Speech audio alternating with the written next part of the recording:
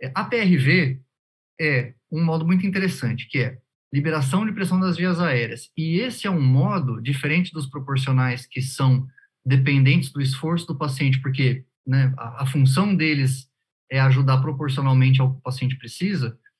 Essa modalidade aqui, tanto ela quanto o PRVC, tem vantagens na forma controlada quanto na forma espontânea. O surgimento dela é interessante, que vem, já tem 30 anos a PRV. E, e o APRV, ele surgiu, tem, depois eu, vou mostrar para vocês o, o, site, tem um site com o, o autor que descreveu o primeiro artigo e ele conta, narrando, eu sou entusiasta de história da fisiologia e dos personagens de ventilação mecânica para ver tipo, de onde vem esses negócios, né? E, e aí ele contando um negócio bem vida real, assim, ele pensou assim, por que, que eu não posso deixar o paciente que precisa de uma pressão alta? Porque a gente, naquela época, 30 anos atrás, 70 e... Eles, né, eles publicaram a validação em 87, mas foi em 72, 73 que começou a explorar PIPs mais altas. E aí via um resultado, né, no caso ali, os pacientes com, com SARA, é, que estavam respondendo a, a, pressões mais altas, melhorava a oxigenação e tal. Ele falou, ah, por que, que eu não posso deixar esse paciente respirando enquanto a pressão está alta? Então, ele começou a colocar o paciente em CPAP, e aí, durante esse CPAP, que eu acho que é uma forma muito didática de entender o APRV, né? porque o APRV é um CPAP com uma pressão alta. Vamos por é uma pressão que você não deixaria aquele paciente continuamente, porque ou vai sobredistender demais, vai começar a reter CO2, aumenta o espaço morto fisiológico, ou então hemodinâmica compromete, enfim, né, tem, tem um monte de motivos para a gente não colocar pressões muito elevadas, apesar de obter resultados de oxigenação melhores. Então tem, tem um equilíbrio aí. Só que com esse CPAP, a proposta foi, de vez em quando, deixa exalar, então assim, exala para pressão zero mesmo, zip, só que é tão curto que não dá tempo da exalação acontecer. Então, tem dois princípios acontecendo aqui. Um deles é que a exalação não é completa, então a gente promove uma autopip. Né? Você intencionalmente não quer que o seu fluxo chegue a zero.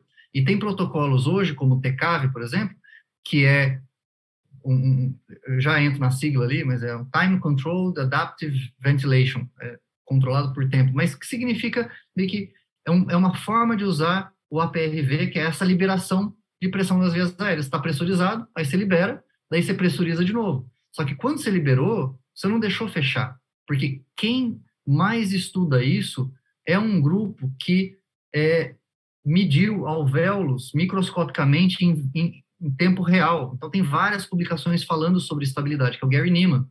Então, vem de um grupo muito conceituado, é bem interessante é, o princípio. E a vantagem de poder permitir respiração espontânea, tem vários trabalhos, do, do principalmente do Christian Putinsen, que quando a gente tinha o antigo protocolo de, de, de definição de Sara, antes desse de Berlim, né, o anterior, é, tinha muito ainda a ideia de assim, ah, então se é uma Sara leve ou moderada, é, talvez tenha benefício de deixar esse paciente respirando espontaneamente, sendo que a gente foi vendo ao longo dos anos surgindo trabalhos em que bloqueador neuromuscular tinha aumento de sobrevida, é, trabalhos do próprio Takeshi Yoshida mostrando um aumento de inflamação e piora né, diária do paciente, então, apesar de uma melhora inicial. Então, parece que tem um resumo da ópera aí, que é o seguinte: em situações de lesão pulmonar, que antigamente era lesão pulmonar aguda, né, que depois virou SARA leve, né, que é uma PO2 FO2 entre 200 e 300. Então, pulmão está ruim, troca gasosa, mas não é o mais crítico. Então, nesse caso, manter, preservar um pouco respiração espontânea pode ajudar a recrutar algumas partes do pulmão, além de preservar a função muscular, e você tem o benefício dessas liberações para conseguir também é, liberar CO2, né? Porque isso aqui é uma exalação, então você tem um volume corrente maior aqui sendo exalado e aí inspira de novo. Então, se a gente pensar o APRV, ele é uma pressão controlada, que ó, inspiração, e aí inspiração é esse tempo longo, a expiração é curtinha. É uma relação invertida, porque relação ins e ex aqui está muito maior a proporção do ins para o ex, e que permite ventilações espontâneas como um CPAP aqui em cima. Só que isso também evoluiu. Então, como que a gente tem hoje o, o APRV nos ventiladores? Pelo menos o que eu tenho experiência que é os servos. Por um acaso, todos os hospitais que eu trabalhei sempre foram servos. Então, é aí que eu queria ter conhecido outros, assim, né? Hamilton, eu tenho muita vontade de conhecer o da Hamilton. Mas, ó, é, pressão na via aérea, hoje a gente vai entender que, assim, a elevação da pressão da via aérea com o tempo inspiratório, que aqui no caso não está exemplificando o tempo em super longo, mas a gente pode configurar é, uma pressão de suporte na pressão alta. Então, a gente vai definir pressão alta, pressão baixa. Você ainda coloca pressão de suporte tanto na pressão alta e uma pressão de suporte configurada para quando ele estiver na pressão baixa. Então, elas podem ser diferentes, elas podem ser iguais, depende do que o ventilador vai te permitir de liberdade de configuração, tá? Mas essa é uma das partes que no APRV acaba sendo tão confuso, porque começa a mudar de nome. Então, a PIP, por exemplo, tem ventilador que chama de PIP, tem ventilador que chama de PLOW, que é a pressão baixa, pressão low. E aí, o platô é a P-high, sendo que a diferença entre os dois é o que a gente costuma configurar como pressão controlada. Então, não é algo de outro mundo, apesar de parecer, porque o gráfico é, um, é uma lambança, né? Porque você vai ver modo controlado com espontâneo, às vezes está sincronizado, às vezes não está. E olha só, eu gostei dessa figura aqui, que está no livro do Tobin, que, assim, não preciso nem falar que é uma baita fonte de referência, porque todos os criadores das modalidades escreveram capítulos lá, então é uma boa fonte. É, aqui a gente vê, por exemplo, é, o pico de fluxo inspiratório quando entra a pressurização controlada, certo? Durante esse CPAP high, ou P high, pressão high, pressão alta, nesse caso aqui está configurada uma pressão de suporte adicional lá em cima. Então, a gente vai ver, quando entrar uma pressão espontânea, que você pode colocar zero, né, que vai ser um CPAP, ou dar uma ajudinha. E, de um jeito ou de outro, vai ter esforço do paciente, a gente vai ver um segundo pico de fluxo. E quando tiver a exalação desse ciclo espontâneo, a gente vai ver um primeiro pico de fluxo. Aqui está desenhado bonitinho, mas geralmente é, é bem mais caótico e, e, variável, né? Então a gente vai ver um primeiro, uma primeira exalação, só que depois tem a redução da pressão, a liberação da pressão da via aérea, que é a segunda exalação.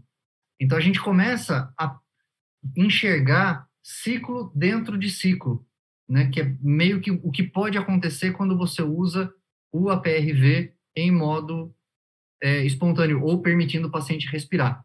E isso nos trabalhos que, que, que né, em, em resumo, eu trago para vocês é assim, ajuda no desmame também, porque você pode manter esse paciente com menos sedação. Então, em termos de sincronia para um paciente grave, conseguir segurar ele com pressões altas, mas ainda permitir uma atividade diafragmática que não gere a sincronia, isso facilitou o manejo das sedações e até de drogas para manutenção de hemodinâmica. Então, tem meio que essa, essas vantagens. Claro que isso depende dos valores programados, né? Então, não é que só pelo fato de ser a PRV você vai colocar lá e vai ficar tudo bem. Não. A configuração depende da gente, entender a demanda do paciente, entender se ele precisa desse misto é, em contrapartida a uma pressão de suporte ou uma PCV simplesmente com PIP alta e se é a hora de deixar esse paciente paralisado, por exemplo. Tá? Então, essa é uma outra discussão, mas o funcionamento do APRV é dessa forma e ele pode ser confuso desse jeito. Geralmente a gente vê também essa definição mais conceitual de APRV sendo essa relação ins-ex com tempo ins bem prolongado e uma, uma, uma outra nomenclatura é bifásico, né? No caso da Getting, se não me engano, é bivente que chama. Então, também varia o nome de acordo com a modalidade e vale a pena entender para cada aparelho, para cada modelo, quais são as variáveis que eles permitem. Então, tem aparelho, se não me engano, da Drager, que não permite uma certa relação em ZS. Então, você não tem uma configuração livre. É praticamente como se fosse assim, ó, se você for usar essa modalidade, ela é para ser feita com a relação invertida. Então, é, isso é, é, é só, só, do que eu tenho conhecimento, tá? Mas nunca vivenciei mudar os, usar os aparelhos da Drager. Então, mas precisa checar em cada modelo o que, que você tem de margem para ajustar. É, e eu gosto de mostrar, assim, para a gente também, de novo, partir de um ponto conhecido. Isso é PCV. Configuração FO2 e PIP. E só uma observação: FO2 e PIP sempre a gente configura independente do modo. Tá? Esse é um negócio interessante, assim, não, ainda não tem um ventilador que ajusta a PIP automaticamente é, sem algum, alguma demanda do operador. O mais perto que chega, que vai mudar a PIP, é o ASV, né? Pera, Smart Care talvez mude PIP, mas eu não tenho certeza. Muda Smart Care? Você já usou Smart Care também? Ai, que legal, cara. É, ah, então muda PIP, tá? Então, tiro o que eu disse. Mas, é, bom, então nos que eu estou acostumado a usar, eu sempre tenho que escolher a PIP e a FO2 e ninguém mexe. Um, mas aí, ó, frequência respiratória de 20. Acompanha comigo o seguinte, ó, o que, que muda na configuração que confunde? É a mesma coisa. Frequência respiratória de 20, concorda que tem um tempo total de 3 segundos, certo? 60 dividido por 20 dá um tempo total de 3 segundos. Eu determinei minha PCV de 10 e um tempo INS de 1, que é a configuração da PCV. Se eu tenho uma frequência de 20, cada ciclo tem 3 segundos, meu tempo INS é 1, automaticamente meu tempo ES é 2. E isso, para os outros modos, exceto a PRV, a gente não configura tempo ES. Ele é uma consequência da programação entre frequência e tempo INS. Tá? Então, ele é automático, não tem como você ajustar as três coisas. Então, o que acontece quando a gente muda a mesma ventilação, só que na linguagem APRV, ela é assim, ó. É o mesmo PCV, o paciente não está puxando, só que a PIP segue chamando PIP, beleza? Só que P alta, eu não vou mais configurar a pressão controlada de 10, que seria o meu delta proximal. Agora é a diferença. Então, eu vou colocar o platô que eu quero que atinja. A diferença entre os dois é um delta de 10. O meu tempo ins virou T alto, que é o tempo que ele vai ficar naquela pressão de 22, que é o platô. O T-PIP é o tempo expiratório, que é o tempo que ele vai ficar na pressão mais baixa, PIP. Então, o tempo aqui você vê que eu não ajusto a frequência. Então, sai a frequência, entra tempo ins, tempo ex, pressão de platô e a pressão baixa, que é a PIP. E aí a frequência respiratória controlada vai ser uma consequência disso, tá? Você também consegue determinar pressão de suporte para cada uma das fases, pressão de suporte alta, pressão de suporte na PIP. E aí o fim da ciclagem que vai valer para as duas.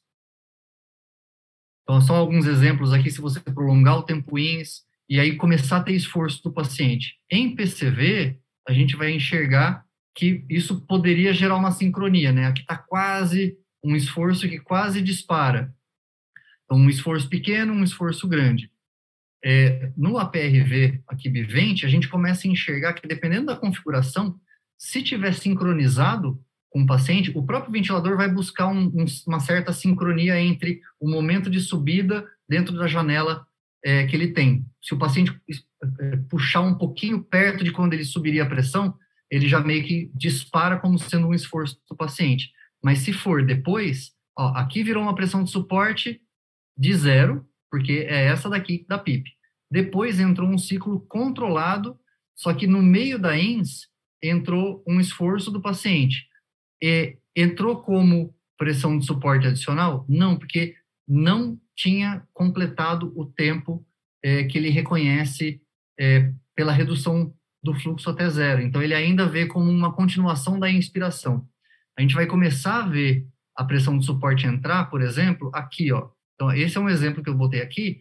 Ó, entrou a pressão controlada, baseado no tempo alto, que vai ficar 3 segundos na pressão de 22. Então, um tempo inspiratório de 3 no platô de 22. Partiu de 12 e foi para 22. Aqui entrou um esforço. Mas olha a diferença dele acontecer no final da primeira leva de fluxo inspiratório. Então, ele praticamente só completou o esforço. Não entrou como um assistido em cima da pressão alta. Só que depois que passou um tempo e depois que completou esse início de ciclo, aí ele começa, aí ele consegue detectar como um esforço inspiratório em cima da pressão alta. Então aqui foi praticamente como um CPAP. E aí aqui ele entra com a pressão de suporte adicional e aí ele sincroniza a exalação se estiver próxima desse tempo que estava programado. Tá? Então, fica meio caótico para enxergar, mas depois que você treina, é, vê o que, que tem ali de sincronia e de assincronia, isso também vai facilitando o ajuste no dia a dia. Quando utilizar isso daqui? Não é tão é, é comum em termos de sincronia, embora a experiência que eu tenha tenha sido para facilitar a sincronia do paciente. Por quê? Teve pacientes que eu ventilei que estava uma bagunça centro respiratório e que ele tinha um buraco entre se estava em PSV, ele ficava completamente entregue. Então ficava com uma sobreassistência, deixava de usar diafragma, não disparava. E aí se você ia diminuindo a assistência, ele começava a reter CO2, ele não entrava. Então você não tinha nem segurança de tirar o suporte nem dar o suporte. Então a gente achou que no APRV ele ficou um pouco melhor, porque daí ele entrava no ciclo caótico dele, que era uma, era uma frequência completamente irregular, no momento que ele quisesse. Só que aquela ventilação a gente conseguia garantir. Então, pelo menos um volume minuto mínimo e uma oxigenação mínima a gente conseguiria garantir. Esse é um exemplo. E a outra situação é em pacientes que precisam de uma pressão média de vias aéreas maior. Então, é o paciente que precisa de muita pressurização, mas você quer usar um pouco da vantagem de liberação para lavar CO2. Tá? Então, eu já vi alguns casos em que, assim, era, era pré-ECMO praticamente, sabe? Então, um pulmão extremamente difícil de oxigenar, mas que manter em PCV com uma PIP muito alta não era uma opção ou pela hemodinâmica ou, ou, ou por qualquer outro motivo é, que, que contraindique essa situação. Tá? Então, acaba sendo uma uma, um compromisso. Botei aqui só mais alguns outros exemplos e eu quero mostrar para vocês um termo que chama, uma, um protocolo dentro da PRV que chama TCAV. Eu conheci com a professora Marta Damasceno. E aí ela pediu para eu dar uma aula de ventilação mecânica, ela falou, você fala de TCAV? Eu falei, T, T quê? Nunca tinha ouvido falar. E, e, achei bem, bem interessante. Então, daí eu falei para ela, pelo amor de Deus, você fala, porque eu não sei nem não sei nem o que serve a sigla, né? Então, TCAV é Time Controlled é, Adaptive Ventilation. Esse nome, para mim, também ainda não ajuda muito a entender o que, que é. Mas, assim, é, é TCAV.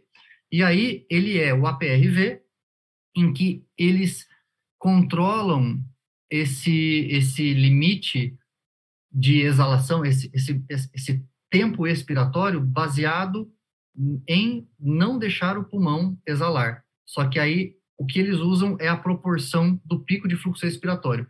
É um análogo ao que a gente usa na pressão de suporte para ciclar para expiração. Esse daqui é o contrário. Então, a gente pega o pico de fluxo expiratório e começa a encurtar o tempo ex até ele ficar em cerca de 75% do pico de fluxo.